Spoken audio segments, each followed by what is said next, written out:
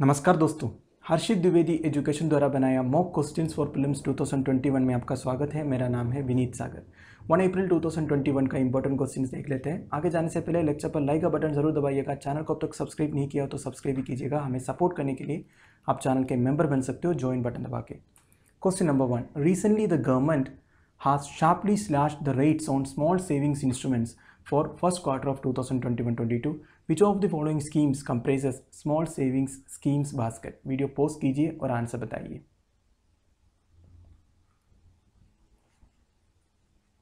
आई hope आपने answer किया होगा। ना the answer is option E all of the above चारों स्कीम्स जो है दोस्तों स्मॉल सेविंग स्कीम्स का इंपॉर्टेंट स्कीम है। अब देखिए, ये न्यूज़ सुबह हर्षित सर ने कवर किया था। न्यूज़ आया था गवर्नमेंट ने जितने भी स्मॉल सेविंग स्कीम्स हैं, उसका रेट ऑफ़ इंटरेस्ट कट किया है। करीब वन परसेंट से लेके वन पॉइंट वन परसेंट तक, ठीक है? तो ये स्मॉल सेविंग स्कीम से रिगार्डिंग एक अलग सा न्यूज़ हम ऑलरेडी पीपीटी ऑलरेडी हमने बनाया है। शॉर्टली वीडियो अपलोड हो जाएगा। आपको स्मॉल सेविंग स्कीम्स के बारे में सब कुछ समझा समझा देंगे।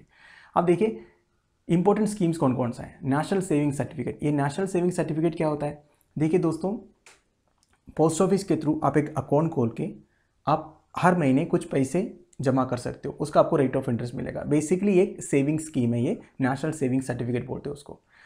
और एक है public provident fund public provident fund के बारे में तो आपको मालूम है एम्प्लॉयज़ के सैलरीज में से कट सैलरीज में से कटते हैं और एक मिनिमम रेट ऑफ़ इंटरेस्ट भी देते हैं। सबसे अच्छा इन्वेस्टमेंट बोला जाता है पब्लिक प्रोविडेंट फंड एक टाइम पे प्रोविडेंट फंड का रेट ऑफ़ इंटरेस्ट बहुत ज़्यादा था, अब धीरे धीरे कम हो रहा है। ठीक है?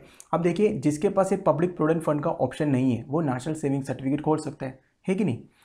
तीसरा, किसान विकास पत्र। ये रिसेंटली अनाउंस हुआ था, देखिए, किसान विकास पत्र में वो होता है दोस्तों, हमें गवर्नमेंट बॉन्ड्स मिलता है। ठीक है? हम अगर कुछ पैसों के बॉन्ड खरीदा, दस साल में आपने आपने जितने का बॉन्ड खरीदा, वो डबल हो जाएगा। बेसिकली डबल करते हैं हमारा इन्वेस्टमेंट किसान विकास पत्रा में। ये सब आपको अलग सा समझा देंगे, ठीक है? वीडियो में। सुकन्या समृद्धि स्कीम ये तो दोस्तों फीमेल चाइल्ड के लिए है। दस साल के नीचे कोई भी फीमेल चाइल्ड है, उनके नाम पर एक अकाउंट खोल सकता है सुकन्या समृद्धि स्कीम उसमें आप पैसे जमा कर सकते हो। एक बार पैसे जमा हो गया, फिर आप उसको निकाल नहीं सकते। जब तक फीमेल चाइल्ड का एज अठारह साल नहीं हो जाते। ठीक है, इसका रेट ऑफ़ इंटरेस्ट सबसे ज़्यादा है। सबसे अच्छा इन्वेस्टमेंट स्कीम है अगर गर्ल चाइल्ड किसी का है तो। अब देखिए सेविंग्स डिपॉजिट भी आता है स्मॉल सेविंग स्कीम है मंथली इनकम डिपॉजिट आता है several time and recurrent deposit भी आता है। आपने सुना होगा पोस्ट ऑफ़िस वगैरह में आरडी करके रिकरेंट डिपॉजिट जो हर हफ़्ते, हर महीने ऐसे पैसे जमा करते हैं, है नहीं? The rates for small saving schemes are announce quarterly अब देखिए, ये बहुत इंपॉर्टेंट है दोस्तों, क्योंकि स्मॉल सेविंग स्कीम्स अभी न्यूज़ में आया, इसलिए इसकी रेट जो है गवर्नमेंट कब अनाउंस करते हैं? क्वार्टरली करते हैं, ध्यान दीजिएगा। Theoretically the rate changes is based on yields of government securities of corresponding maturity however political factors also influence the rate change देखिए दोस्तों, इसका जो रेट है, वो कैसे डिटर्मिन होता है? गवर्नमेंट सिक्योरिटीज़ है ट्रेजरी बिल्स है, वो सबका परफॉर्मेंस कैसा है मार्केट में? वो देखने के बाद स्मॉल सेविंग स्कीम्स का गवर्नमेंट की तरफ़ से जितने भी स्मॉल सेविंग स्कीम्स है, उसका रेट ऑफ़ इंटरेस्ट डिसाइड करते हैं। अगर परफॉर्मेंस अच्छा नहीं है तो इंटरेस्ट कम हो जाता है। ये political factors also influence the rate change लिखा है। देखिए पॉलिटिकल फैक्टर्स भी इन्फ्लुएंस करता है। स्मॉल सेविंग स्कीम्स का इंटरेस्ट के ऊपर। ये सब इंपॉर्टेंट पॉइंट्स है दोस्तों, क्योंकि यूपीएससी प्रीलिम्स में इस तरह की स्टेटमेंट्स आ सकते हैं। ठीक है तो आप ध्यान दीजिएगा पॉलिटिकल फैक्टर्स भी इन्फ्लुएंस करते हैं। कई सारे पॉलिटिकल पॉलिसीज़ वगैरह रेट ऑफ़ इंटरेस्ट क्योंकि पॉलिटिकल पॉलिसीज़ वगैरह गवर्नमेंट सिक्योरिटीज़ गवर्नमेंट बिल्स का परफॉर्मेंस को मैटर करते हैं। तो इंडायरेक्टली ये स्मॉल सेविंग स्कीम्स का इंटरेस्ट में भी मैटर करता है। ठीक है, अब देखिए Shyamala Gopinath panel very very important constituted on the small saving scheme small saving schemes के ऊपर एक पैनल कॉन्स्टिट्यूट किया था, जिसका नाम है श्यामला गोपीनाथ पानल श्यामला गोपीनाथ हेड किया था। इन्होंने सजेस्ट किया था market linked interest rate system होना चाहिए सोल्स सेविंग स्कीम्स को। ठीक है, ये market linked interest rate system Shyamala Gopinath panel से ही आया है। ठीक है, ये नाम ध्यान दीजिएगा, श्यामला गोपीनाथ। अब देखिए statements national saving certificate public provident fund Kisan Vikas Patra, Sukanya Samriddhi scheme ये चारों स्मॉल सेविंग स्कीम्स के इंपॉर्टेंट स्कीम्स है। So the answer is option E all of the above Question number two. The Union Cabinet has approved a production-linked incentive scheme for the food processing industry with an outlay of 10,900 crores. Which of the following food products are covered under the scheme? Video pause कीजिए और answer बताइए आई hope आपने answer किया होगा ना the answer is option E again all of the above देखिए दोस्तों production linked incentive scheme के बारे में कई बार डिस्कस हो चुका है प्रोडक्शन लिंक्ड इंसेंटिव स्कीम अभी गवर्नमेंट ने कई सारे सेक्टर्स में इंट्रोड्यूस किया है। अब फ़ूड प्रोसेसिंग सेक्टर्स में भी आ गया। Ten thousand nine hundred crore already announce भी हुआ है। अब देखिए वैसे फ़ूड प्रोसेसिंग इंडस्ट्री में पहले से है अनाउंस तो किया था, अब यूनियन कैबिनेट ने अप्रूव किया है, ठीक है? प्लान तो पहले से था। अब देखिए दोस्तों, ये प्रोडक्शन लिंक्ड इंसेंटिव स्कीम होता क्या है? सिंपल भाषा में समझाता हूँ मैं आपको। मान लो एक कंपनी का प्रोडक्शन है महीने में सौ यूनिट मान लो मोबाइल फ़ोन प्रोड्यूस करता है तो मोबाइल फ़ोन एक महीने में वो सौ प्रोड्यूस करता है। अब गवर्नमेंट उनको एंकरेज करता है कि अब सौ से दो सौ करो, ताकि हमें बाहर से कोई इंपोर्ट ना करना पड़े सेल्फ सफिशिएंट हो जाए, ठीक है? अब ये 200 करने से क्या होगा? ये जो कंपनी का लॉस तो होगा ना, क्योंकि ज़्यादा पैसा लगता है प्रोड्यूस करने में।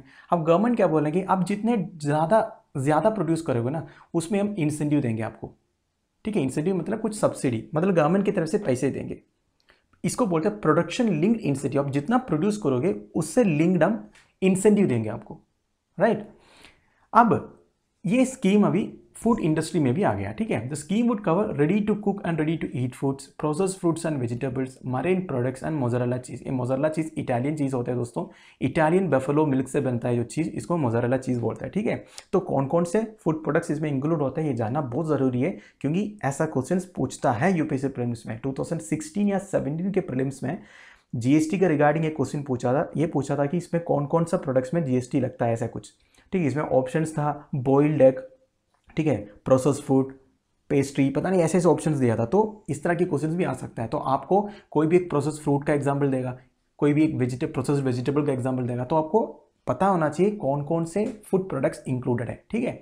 Organic products free range eggs poultry meat egg products are also covered applicant selected for the scheme would be require to invest in plant and machinery in the first year देखिए, जो भी इसके लिए apply कर रहा है, उनको plant and machinery में इन्वेस्ट करना पड़ेगा पहले दो साल में। ठीक है? तब जाके ज़्यादा प्रोड्यूस होगा। The implementation of the scheme would facilitate the expansion of processing capacity to generate process food output of thirty three thousand four hundred ninety four crores या पढ़ लीजिएगा दोस्तों, ज़्यादा एम्प्लॉयमेंट भी जनरेट होगा इससे। वैसे प्रोडक्शन लेकिन इंसेंटिव स्कीम से एम्प्लॉयमेंट तो जनरेट होना ही होना है, क्योंकि ज़्यादा प्रोडक्शन करेगा तो ज़्यादा मैन पावर चाहिए। ठीक है तो वैसे प्रोडक्शन लिंक्ड इंसेंटिव स्कीम अभी तक तो सक्सेसफुल चल रहा है। अब आगे देखा जाएगा। अब देखिए स्टेटमेंट्स में marine products mozzarella cheese poultry meat egg products लिखा हुआ है। And option E all of the above is the answer Question number 3. Recently, a petition has been filed in Supreme Court against a uniform civil law for divorce, maintenance and alimony. Consider the following statements which are correct. Video post कीजिए और answer बताइए आई hope आपने answer किया होगा ना the answer is option B two and three only statement one कहना था देखिए दोस्तों दो न्यूज़ आया था एक तो न्यूज़ मैंने पढ़ा आपको क्वेश्चन के साथ दूसरा ये आया था इतना इंपॉर्टेंट नहीं है। चीफ जजेस ऑफ़ इंडिया ऐसे बोबडे साहब गोवा गए थे। क्यों? बॉम्बे हाईकोर्ट का एक नया बेंच गोवा में कॉन्स्टिट्यूट किया है। आपको वैसे पता है, गोवा भी बॉम्बे हाईकोर्ट का जुरिस्डिक्शन में आता है। इंडिया में कई सारे हाईकोर्ट्स ऐसा है, जिसमें एक से ज़्यादा स्टेट्स का या यूनियन टेरिटरीज का जुरिस्डिक्शन हो। जैसे केरला हाईकोर्ट को, केरला के ऊपर भी है, लक्षद्वीप के ऊपर भी है। वैसे जो कोलकाता हाईकोर्ट है, उसको कोलकाता, वेस्ट बंगाल के ऊपर भी है, अंडमान निकोबार आइलैंड्स के ऊपर भी है, ठीक है? वैसे कई सारे एग्जाम्पल्स हैं। अब देखिए, ऐसे बोबडे साहब ने क्या बोला? Goa has what constitutional frame is envisage for India ये यूनिफॉर्म सिविल कोड हम देखिए यूनिफॉर्म सिविल कोड के बारे में हमारे कॉन्स्टिट्यूशन में क्लियरली लिखा है। आपको हर्षित शाह ने पोलिटी में पढ़ाया भी है अच्छी तरह। एंड इन्होंने क्या बोला as safe have had the great privilege of administering जजेस under the code it applies in marriage and succession governing all governments irrespective of religious affiliation. Bombay, Bobde said while speaking at the inauguration ceremony of new building of Bombay High Court at Goa. And उनको appreciate भी किया है गोवर्स को देखिए दोस्तों गोवा में एक uniform civil code जैसे एक प्रोसेस है ऑलरेडी क्योंकि देखिए ये जो मैरिज है डिवोर्स है इनहेरिटेंस है ये सब कंकरेंट लिस्ट में आता है कंकरेंट लिस्ट के ऊपर बोथ सेंटर एंड स्टेट्स जो है लॉ बना सकते हैं। अब गोवा में इरेस्पेक्टिव ऑफ़ रिलीजन सबके लिए एक ही लॉ है। इसलिए हम बोल सकते हैं गोवा में एक यूनिफॉर्म सिविल कोड ऑलरेडी लागू है। ठीक है? अब कंकरेंट लिस्ट के बारे में। लिस्ट थ्री सेवन शेड्यूल में इसे list of fifty two items दो the last subject is number forty seven वैसे आप देखोगे ना लिस्ट में ओनली फोर्टी सेवन है, पर फिफ्टी टू आइटम्स कवर होता है कंकरेंट लिस्ट में। ठीक है? Given in the seven schedule of the constitution of India right अब देखिए हमारे स्टेटमेंट्स में क्या लिखा है। पहला लिखा है term uniform civil code is not mention in Indian constitution गलत। मैंशन है। Personal law subjects like marriage divorce inheritance come under the concurrent list very very correct Goa is the only Indian state to have a uniform civil code in the form of common family law तो उधर का वो law का नाम है common family law तो this is correct answer is option B two and three question number four to which of the following option given below you can relate Nacaduba Sinhala Ramaswamy Sadasivan recently Siri news video post कीजिए और answer बताइए।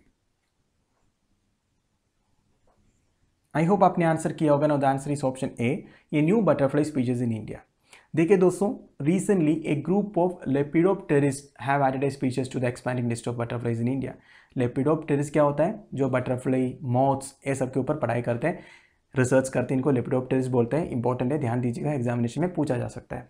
अब देखिए new speeches का नाम क्या दिया है? Nacaduba Sinhala Ramaswamy Sadasivan in the Agasthya Malais in the Western Ghats अब देखिए, ये डिस्कवर कहाँ से हुआ? वेस्टर्न गट्स में अगस्त्य मलई रीजन में। अगस्त्य मलई के बारे में मैंने आपको बताया है पहले भी, और एक बार बता देता हूँ Agasthya Malai is one of the biosphere reserve in India Kerala में है। केरला एंड तमिलनाडु में स्प्रेडेड है, ज़्यादा एरिया केरला में है। केरला में और एक बायोस्फीयर रिज़र्व है, वो है Nilgiri biosphere reserve Nilgiri biosphere reserve वैसे तीन स्टेट्स में फैला हुआ है, कर्नाटका, तमिलनाडु एंड केरला। इसमें सबसे ज़्यादा एरिया तमिलनाडु के पास है, सबसे कम एरिया केरला के पास है, ठीक है? तो अगस्त्य मलय में से ये बटरफ्लाई जो है, इसको डिस्कवर किया है, ठीक है?